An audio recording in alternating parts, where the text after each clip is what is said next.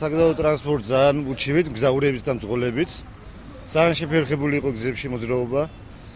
შემდეგ ამისა გზები გაფუჭდა ეს რამდენად ხარისხენი დაგებული იყო ეს ხო ჩვენი პრობლემა არა, მაგრამ ხედავთ რომ ძალიან ცუდ მდგომარეობაშია გუშინ მაგალითად საღამოს აი მძღოლია თანამშრომელი ჩემი დამეხმარა საბურავი მომიტან და ორი პაგრიშკა გავჯარი რომელიც წარმოადგენდა 600 ლარს. ახლა აქ უნდა იდგე შვახევის მანქანა 1-5 და 1 კიდე 5 დანდალო შვახევი კიდე. ქედის. და მე ვდგავარ ერთი. საერთოდ მანქანა გავიდა დღეს ცენტრის მიმართულებით. რომელიც რომ იმენა ცენტრის მიმართულებით გავიდა დანარჩენი არ გასულა. რატომ? იმიტომ რომ არის იფერხება. სასთან დაკავშირებით. ო, არ ვიცი ახლა მე ალბათ ალბათ თოლია, ალბათ რაღაცა, რა ვიცი, არ შემოვიდა მანქანა თქვა. არ შემოვიდა მარშრუტკა და არ გავიდა.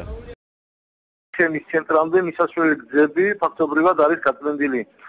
ხვარიდან ალბათ შეუძლიებით შიდა სასოფლო გზების გაწმენდას. რაც შეეხება ელექტროენერგიას, დაზიანებული იყო ძირითადად 10-იანი და 35-იანი ხაზები, ხუთი სოფელი დეკანაშვილების თემის და ხალხის თემის ჯერჯერობით ელექტროენერგია არ მიეწოდება ამ სოფლებს, სხვა დანარჩენ თემებში სოფლებში აღდგენილია ელექტროენერგიის მიწოდება.